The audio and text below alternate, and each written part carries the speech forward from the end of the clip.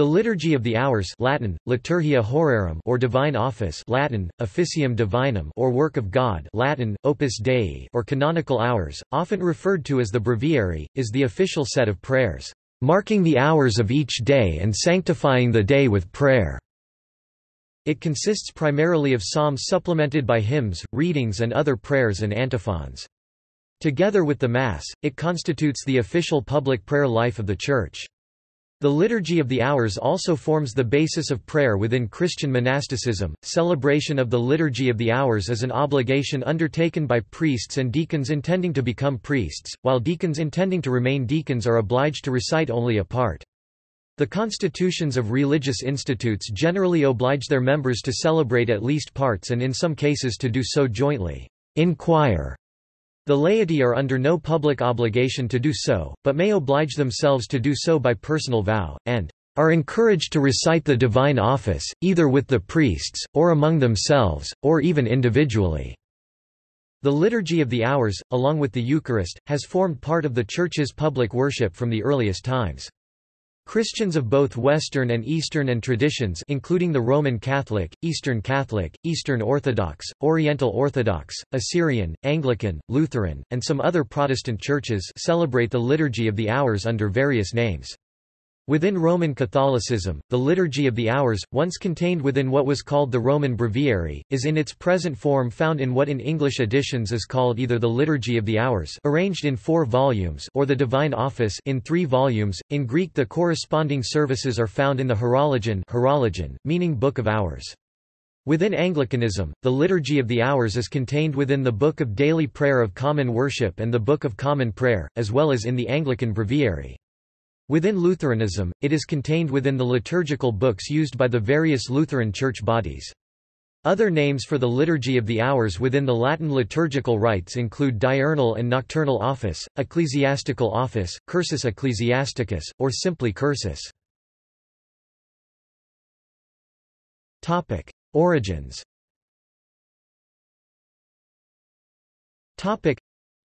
the early Christians continued the Jewish practice of reciting prayers at certain hours of the day or night.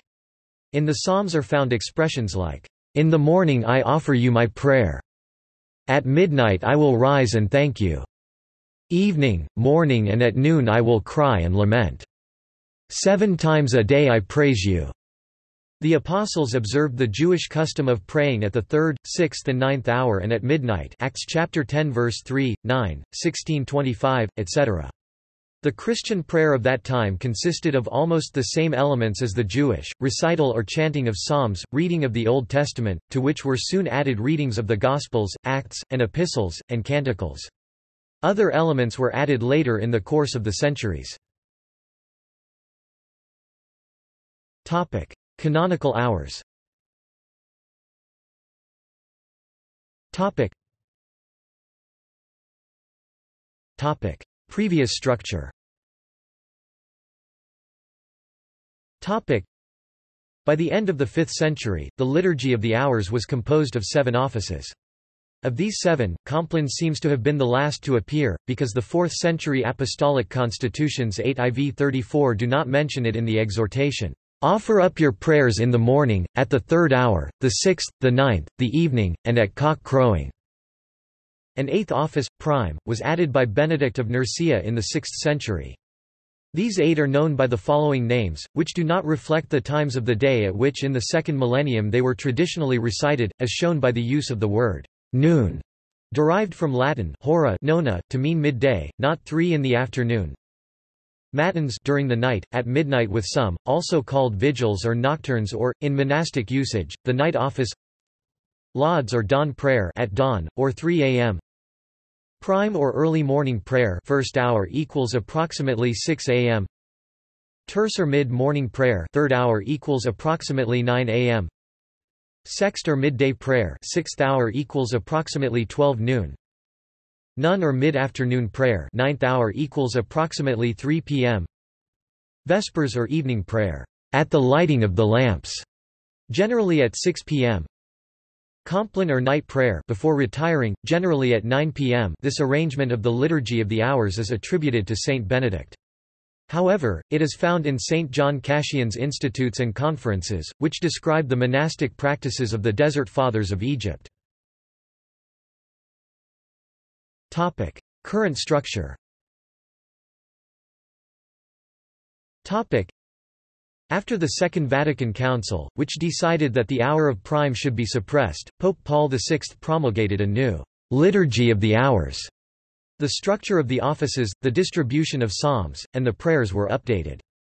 The distinction, already expressed in the 1960 Code of Rubrics, between the three major hours matins, lauds and vespers and the minor hours terce, sext, none and compline has been retained. The Officium Lectionis, or Office of Readings, formerly Matins major hour. Lauds or morning prayer, major hour. Daytime prayer, minor hour or hours, one or more of Terce or mid-morning prayer before noon Sext or midday prayer None or afternoon or mid-afternoon prayer Vespers or evening prayer, major hour Compline or night prayer, minor hural hours, including the minor hours, start with the versicle from p. 70 69 v. 2 as do all offices in the traditional breviary except matins and compline. v. Deus, in adiutorium meum intend. R. Domine, ad adiuvandum me festina. God, come to my assistance, Lord, make haste to help me, followed by the doxology. The verse is omitted if the hour begins with the invitatory lauds or office of reading. The invitatory is the introduction to the first hour set on the current day, whether it be the office of readings or morning prayer. The opening is followed by a hymn. The hymn is followed by psalmody. The psalmody is followed by a scripture reading. The reading is called a chapter capitulum if it is short, or a lesson lectio if it is long. The reading is followed by a versicle. The hour is closed by an oration followed by a concluding versicle.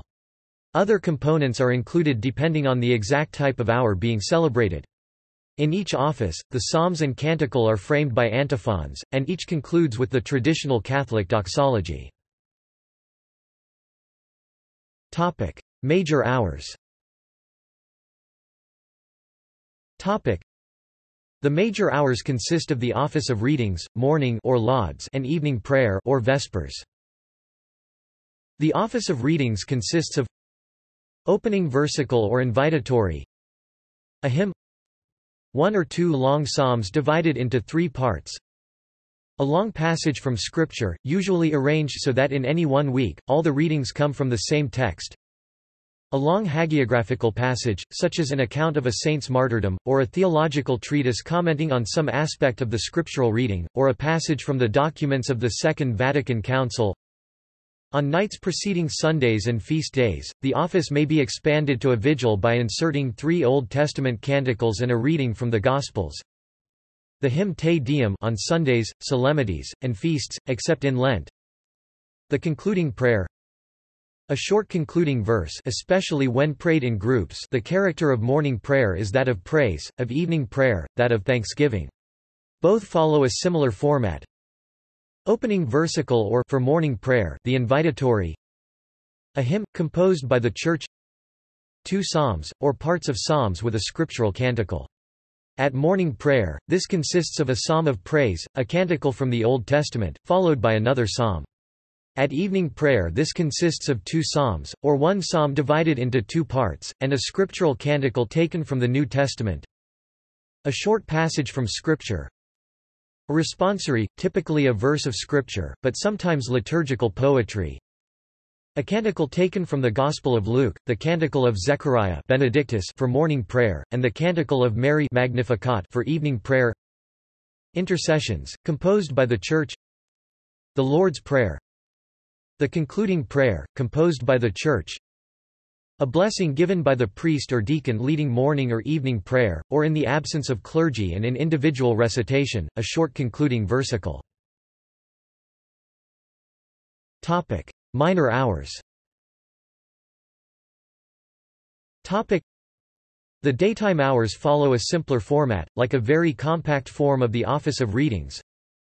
Opening versicle A hymn Three short psalms, or, three pieces of longer psalms, in the daytime hours when only one is said it follows a variable psalmody which usually opens with part of the longest psalm, Psalm 118 119 when all three are said this psalmody is used at one of the hours, while the other two follow the complementary psalmody which consists of 119 120 to 121 120 seconds at terce, 122 123 to 124 125 at sec text and 125 126 to 127 128 at none. A very short passage of scripture, followed by a responsorial verse. The concluding prayer. A short concluding verse v. Benedicamus Domino ar Deo gratias night prayer Compline has the character of preparing the soul for its passage to eternal life. Opening versicle An examination of conscience A hymn a psalm, or two short psalms, the Psalms of Sunday, Psalm 90 91st or 4 and 133 134ths may always be used as an alternative to the psalms appointed on weekdays. A short reading from Scripture The responsory in Manus Tuas, Domine into your hands, Lord. The Canticle of Simeon, Nunc Dimittis, from the Gospel of Luke, framed by the antiphon Salva nos Save us Lord. A concluding prayer a short blessing Noctem quietam et finem perfectum concedit nobis Dominus omnipotens. Amen. Marian antiphon without versicle and concluding prayer, either one of the four traditional seasonal antiphons, or sub tuum, or another antiphon approved by the local episcopal conference. The Regina Caeli is always used in Eastertide. Topic: Usage. Topic: an invitatory precedes the canonical hours of the day beginning with the versicle, "'Lord, open my lips, and my mouth will proclaim your praise' Ps 50 51st v.17, and continuing with an antiphon and the invitatory psalm, usually Psalm 94 95 All psalms and canticles are accompanied by antiphons. Unless the invitatory is used, each hour begins with the versicle, God, come to my assistance. Lord, make haste to help me. P 69 70 v.2, followed by a hymn. Each hour concludes with a prayer followed by a short versicle and response. Matins or the office of readings is the longest hour. Before Pope St. Pius X's reform, it involved the recitation of 18 psalms on Sundays and 12 on ferial days. Pope Pius X reduced this to nine psalms or portions of psalms, still arranged in three nocturnes, each set of three psalms followed by three short readings, usually three consecutive sections from the same text. Pope Paul VI's reform reduced the number of psalms or portions of psalms to three, and the readings to two, but lengthened these. On feast days the Te Deum is sung or recited before the concluding prayer. After St. Pius X's reform, lauds was reduced to four psalms or portions of psalms and an Old Testament canticle, putting an end to the custom of adding the last three psalms of the Psalter 148 at the end of lauds every day. The number of psalms or portions of psalms is now reduced to two, together with one Old Testament canticle chosen from a wider range than before. After these there is a short reading and response and the singing or recitation of the Benedictus. Vespers has a very similar structure, differing in that Pius X assigned to it five psalms now reduced to two psalms and a New Testament canticle and the Magnificat took the place of the Benedictus.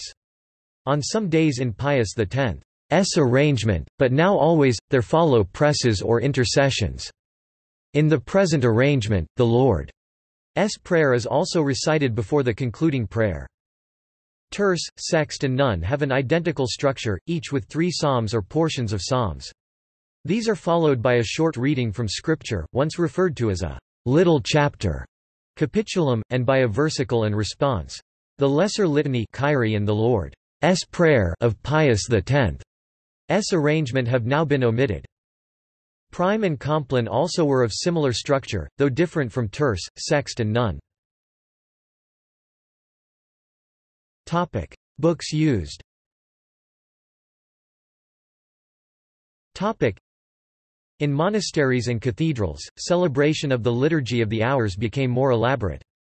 Served by monks or canons, regular celebration required a psalter for the psalms, a lectionary for the scripture readings, other books for hagiographical readings, a collectary for the orations, and also books such as the antiphonary and the responsoriary for the various chants.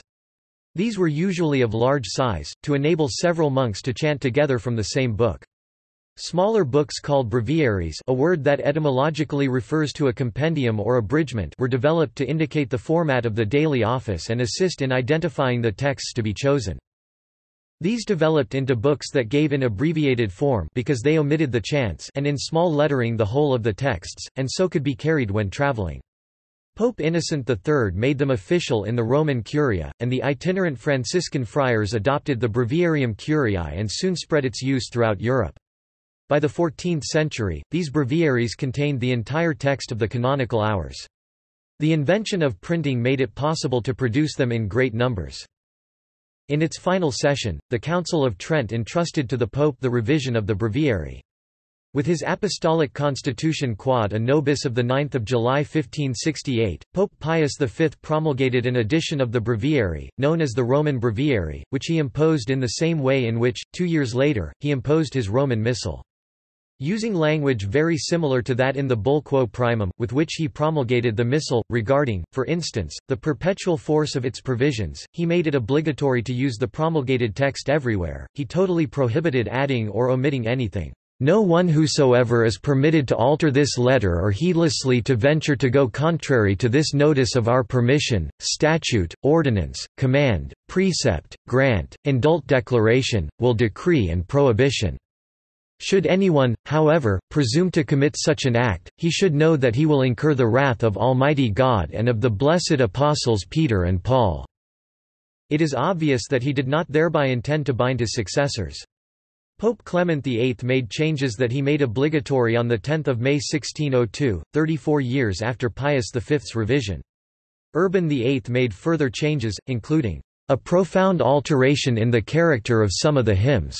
Although some of them without doubt gained in literary style, nevertheless, to the regret of many, they also lost something of their old charm of simplicity and fervor. For the profound revision of the book by Pope Pius X see Reform of the Roman Breviary by Pope Pius X Finally, a new revision was made by Pope Paul VI with his Apostolic Constitution Laudis Canticum of 1 November 1970. Many of the complicated rubrics or instructions that had governed recitation of the liturgy were clarified, and the actual method of praying the office was made simpler.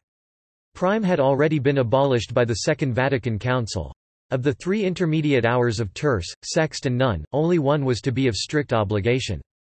Recitation of the Psalms and a much increased number of canticles was spread over four weeks instead of one. Three Psalms 58, 83, and 109 have been omitted from the Psalter cycle because of their curses. In the same way, some verses have been omitted from certain Psalms, as noted at the head of each. The reason for the omission is a certain psychological difficulty, even though the Psalms of imprecation are in fact used as prayer in the New Testament, for example, RV 6.10, and in no sense to encourage the use of curses. Two typical editions for celebrating the revised Liturgy of the Hours Liturgia Horarum according to the Roman Rite have been published by Rome. The current typical edition for the ordinary form of the Roman Rite is the Liturgia Horarum, Editio Typica Altera, promulgated in 1985 printed between 1985 and 1987, and reprinted in 2000. This uses the Nova Vulgata Latin Bible for the readings, psalms and canticles rather than the Clementina. It has changed some of the readings and responsories according to the Nova Vulgata, and it provided for the Benedictus and Magnificat on Sundays with three antiphons each that reflect the three-year cycle of Gospel readings. Pope Urban VIII's lamented alterations of the hymns are undone. Verse numberings are added to the Psalms and the longer scripture readings, while the Psalms are given both the Septuagint numbering and in parentheses that of the Masoretic text and new texts, taken from the Missale Romanum, have been added in the appendix for solemn blessings and the penitential acts. Thus far, this second Latin typical edition has only been translated in the Liturgy of the Hours for Africa. The earlier edition has appeared in two English translations, one under the title, Liturgy of the Hours, the other as, The Divine Office.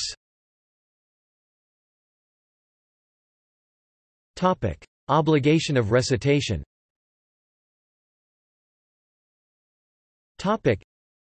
In the Latin Church of the Catholic Church, bishops, priests, and deacons planning to become priests are obliged to recite the full sequence of the hours each day, keeping as far as possible to the true time of day, and using the text of the approved liturgical books that apply to them. Permanent deacons are to do so to the extent determined by their episcopal conference. Members of institutes of consecrated life, societies of apostolic life, or other religious associations e.g., Benedictine Oblates, Third-Order Dominicans who are not clerics and are therefore not subject to these obligations are bound according to the norm of their constitutions. Members of such institutes and societies who are deacons, priests, or bishops, remain bound to their more severe obligation as clergy. Latin Church clerics can lawfully fulfill their obligation to pray the office using the edition of the Roman Breviary promulgated by John XXIII in 1961 rather than the current edition of the Liturgy of the Hours. While the 2007 Motu Proprio Summorum Pontificum states that communities belonging to institutes of religious life and societies of apostolic life require authorization only by their major superiors to use the 1962 edition of the Roman Missal for their conventual or community mass frequently, habitually or permanently, it makes no such statement regarding use of the 1962 Liturgy of the Hours, which however could be allowed by their constitutions. Laity, especially if they are involved in ministries of the Church lector, cantor, extraordinary minister of Holy Communion, catechists, religious education directors or school principals, altar servers, those contemplating religious life or the seminary, are strongly encouraged to participate. The constitutions of some institutes of consecrated life, in particular many congregations of Benedictine monks and nuns, but also others, oblige them to follow an arrangement of the Psalter whereby all the psalms are recited in the course of a single week, partly through an extension of the office of readings, and by maintaining the hour of prime. Historical development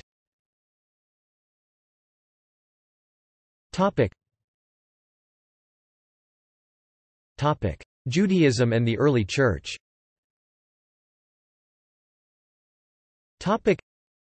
As is noted above, the canonical hours stemmed from Jewish prayer. During the Babylonian exile, when the temple was no longer in use, the first synagogues were established, and the services at fixed hours of the day of Torah readings, psalms, and hymns began to evolve.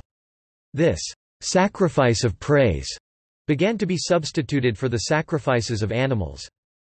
By the time of the Roman Empire, the Jews and eventually early Christians began to follow the Roman system of conducting the business day in scheduling their times for prayer.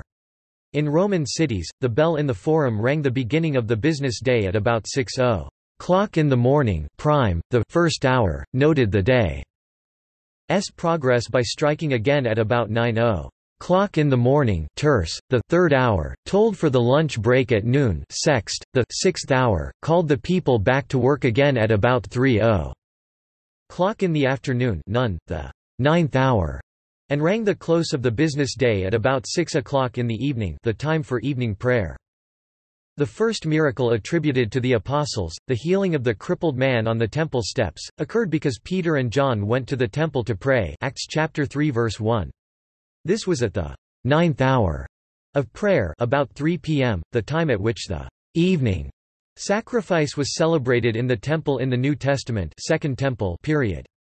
One of the defining moments of the early Church, the decision to include Gentiles among the community of believers, arose from a vision Peter had while praying at noontime Acts chapter 10 verses 9–49. This was at the sixth hour the time of the Musaf prayers associated with additional sacrifices in the temple on special days. As Christianity began to separate from Judaism, the practice of praying at fixed times continued. The early church was known to pray the Psalms Acts chapter 4 verses 23 to 30, which has remained a part of the canonical hours and all Christian prayer since. By 60 AD, the Didache, the oldest known liturgical manual for Christians, recommended disciples to pray the Lord. S prayer three times a day, this practice found its way into the canonical hours as well. Pliny the Younger 63 c. 113, who was not a Christian himself, mentions not only fixed times of prayer by believers, but also specific services—other than the Eucharist, assigned to those times, they met on a stated day before it was light, and addressed a form of prayer to Christ, as to a divinity after which it was their custom to separate, and then reassemble, to eat in common a harmless meal. By the 2nd and 3rd centuries, such church fathers as Clement of Alexandria, Origen, and Tertullian wrote of the practice of morning and evening prayer, and of the prayers at terce, sext, and none. The prayers could be prayed individually or in groups. By the 3rd century, the Desert Fathers the earliest monks, began to live out St. Paul's command to Pray without ceasing. 1 Thessalonians chapter 5 verse 17 by having one group of monks pray one fixed hour prayer while having another group pray the next prayer. Topic: Middle Ages. Topic: As the format of unbroken fixed-hour prayer developed in the Christian monastic communities in the East and West, longer prayers soon grew, but the cycle of prayer became the norm in daily life in monasteries. By the 4th century, the characteristics of the canonical hours more or less took their present shape. For secular non-monastic clergymen and lay people, the fixed-hour prayers were by necessity much shorter. In many churches and basilicas staffed by monks, the form of the fixed-hour prayers was a hybrid of secular and monastic practice. In the East, the development of the divine services shifted from the area around Jerusalem to Constantinople. In particular, Saint Theodore the Studite c. 758 c. 826 combined a number of influences from the Byzantine court ritual with monastic practices common in Asia Minor, and added thereto a number of hymns composed by himself and his brother Joseph see Typicon for further details. In the West, Saint Benedict in his famous rule modeled his guidelines for the prayers on the customs of the basilicas of Rome. It was he who expounded the concept in Christian prayer of the inseparability of the spiritual life from the physical life. The Benedictines began to call the prayers the Opus Dei or work of God. As the divine office grew more important in the life of the Church, the rituals became more elaborate. Soon, praying the office began to require various books, such as a psalter for the Psalms, a lectionary to find the assigned scripture reading for the day, a Bible to proclaim the reading, a hymnal for singing, etc. As parishes grew in the Middle Ages away from cathedrals and basilicas, a more concise way of arranging the hours was needed. So, a sort of list developed called the breviary, which gave the format of the daily office and the texts to be used. The spread of breviaries eventually reached Rome, where Pope Innocent III extended its use to the Roman Curia. The Franciscans sought a one-volume breviary for its friars to use during travels, so the order adopted the Breviarium Curiae, but substituting the Gallican Psalter for the Roman. The Franciscans gradually spread this breviary throughout Europe. Pope Nicholas III would then adopt the widely used Franciscan breviary to be the breviary used in Rome. By the 14th century, the breviary contained the entire text of the canonical hours. Roman Rite since the Council of Trent.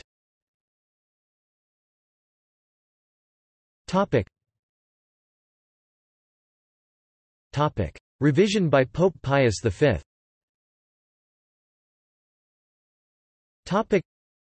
The Council of Trent, in its final session on 4 December 1563 entrusted the reform of the breviary to the then Pope, Pius IV.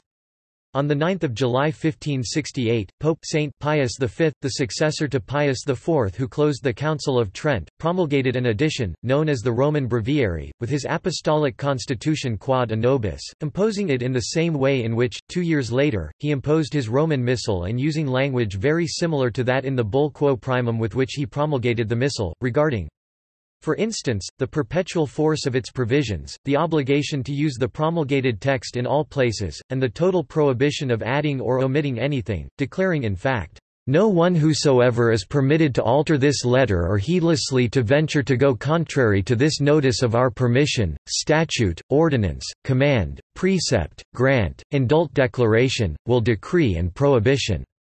Should anyone, however, presume to commit such an act, he should know that he will incur the wrath of Almighty God and of the blessed apostles Peter and Paul. Further revision before the Second Vatican Council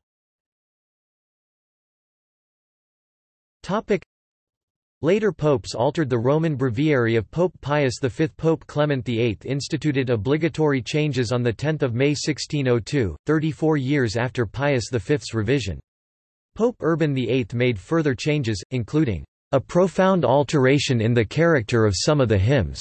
Although some of them without doubt gained in literary style, nevertheless, to the regret of many, they also lost something of their old charm of simplicity and fervor. Pope Pius XII allowed the use of a new translation of the Psalms from the Hebrew and established a special commission to study a general revision, concerning which all the Catholic bishops were consulted in 1955. His successor, Pope John XXIII, implemented these revisions in 1960. Topic. Revision following the Second Vatican Council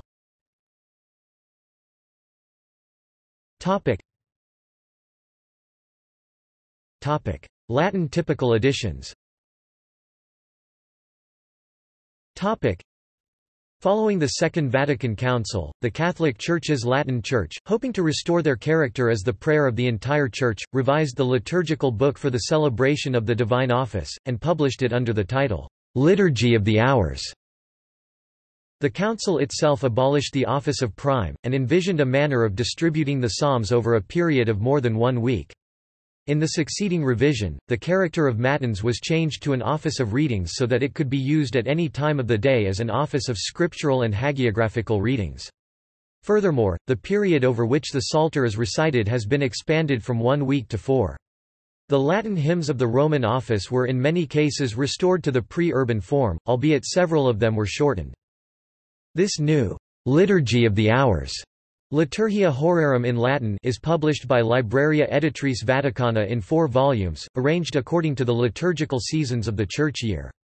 Volume 1, Advent and Christmastide Volume 2, Lent, the Sacred Triduum and Eastertide Volume 3, Weeks 1 to 17 of the year Volume 4, Weeks 18 to 34 of the year Current liturgical books for the celebration of the Liturgy of the Hours in Latin are those of the Editio Typica Altera second typical edition, promulgated in 1985 and reissued, by the Vatican Publishing House, Libreria Editrice Vaticana, in 2000 and 2003.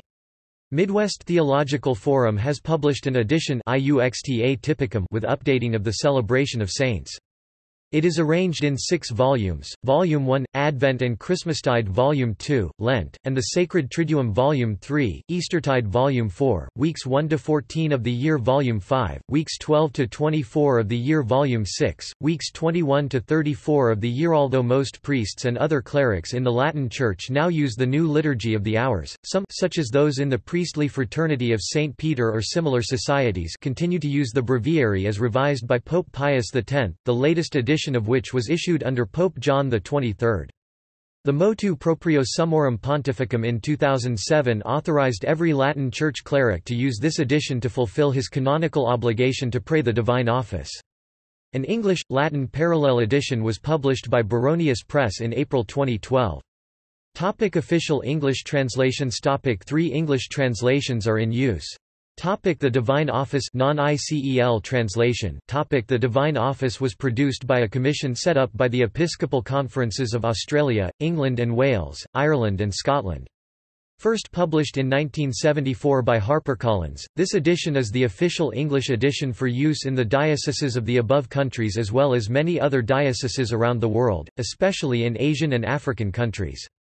It is arranged in three volumes, Volume 1, Advent, Christmastide and Weeks 1–9 of the year Volume 2, Lent and Eastertide Volume 3, Weeks of the Church Year 6–34. The Psalms are taken with slight adaptations from the 1963 Grail Psalms, while the scripture readings and non-gospel canticles are taken from various versions of the Bible, including the Revised Standard Version, the Jerusalem Bible, the Good News Bible, the New English Bible and Ronald Knox's translation of the Vulgate. Some of the canticles taken from the Revised Standard Version were amended slightly to conform the English text to the Vulgate in the Divine Office. The intercessions, concluding prayers, antiphons, short responses, responsories, second readings in the Office of Readings, Te Deum and Glory be to the Father are all translations approved by the Episcopal Conferences mentioned and confirmed by the Holy See in December 1973. The Gospel Canticles Benedictus, Magnificat, Nunc Dimittis are from the 1963 Grail translation, but an appendix at the end of the book gives the English-language liturgical consultation ELLC versions of the Gospel Canticles as alternatives. Collins also publishes shorter editions of the Divine Office, Daily Prayer, comprising the complete Divine Office, except for the Office of Readings but the full Office of Readings are printed only for Christmas, Good Friday and Holy Saturday morning and evening prayer, comprising the complete morning, evening and night prayers from the Divine Office Shorter Morning and Evening Prayer, comprising the Psalter for morning, evening and night prayers and a selection of texts from the liturgical seasons and feasts. Between 2005 and 2006, Collins republished the Divine Office and its various shorter editions with a new cover and revised calendar of the movable feasts. Besides these shorter editions of the Divine Office, there used to be a shorter prayer during the day comprising the Psalter for the Middle Hours also published by Collins.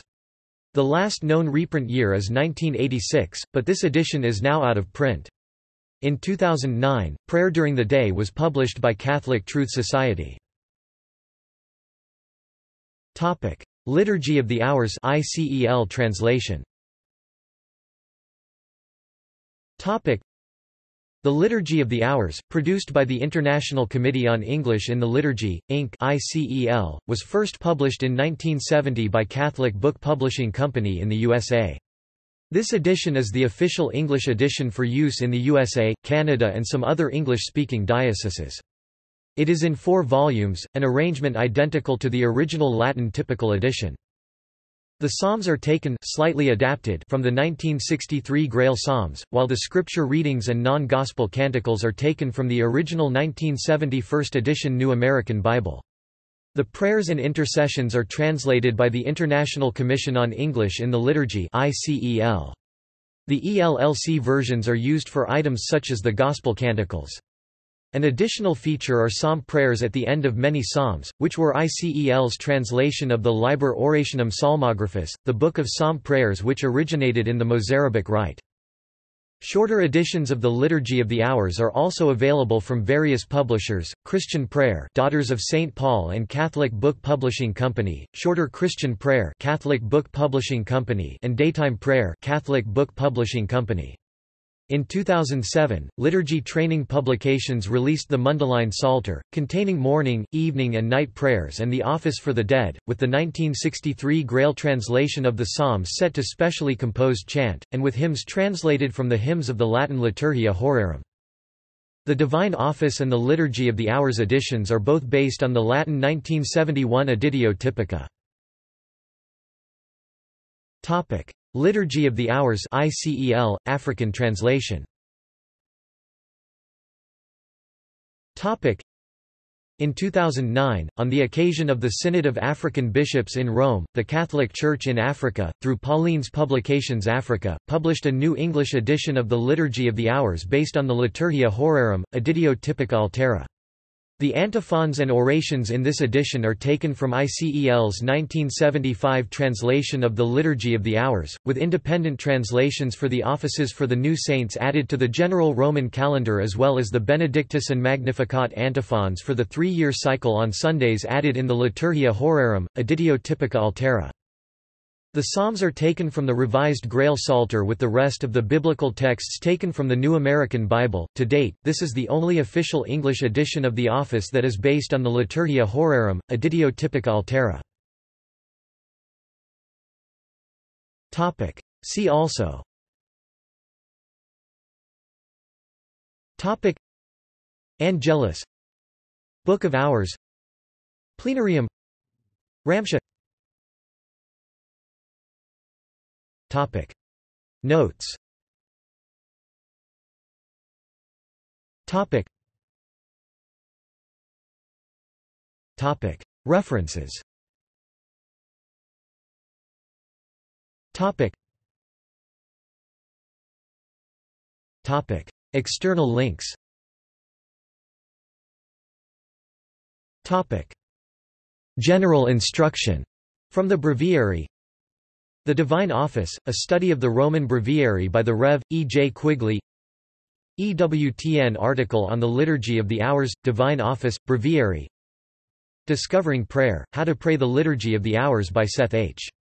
Murray also available with audio samples Breviary Timeline, a timeline of official 20th-century breviaries Divinum Officium, an online dynamic version of the Breviarium Romanum according to the rubrics of 1960